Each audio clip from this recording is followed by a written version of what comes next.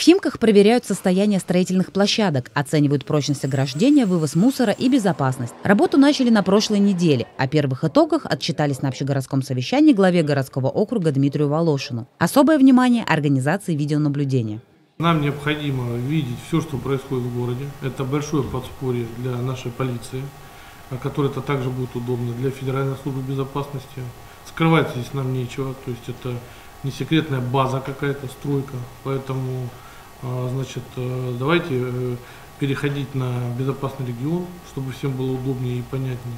Также обсудили перспективы развития северо-западной промышленной зоны. С ноября прошлого года здесь проводят опись участков, выявляют их статус и собственников. В будущем на этой территории планируют построить промышленный кластер, который даст Химкам 28 тысяч рабочих мест.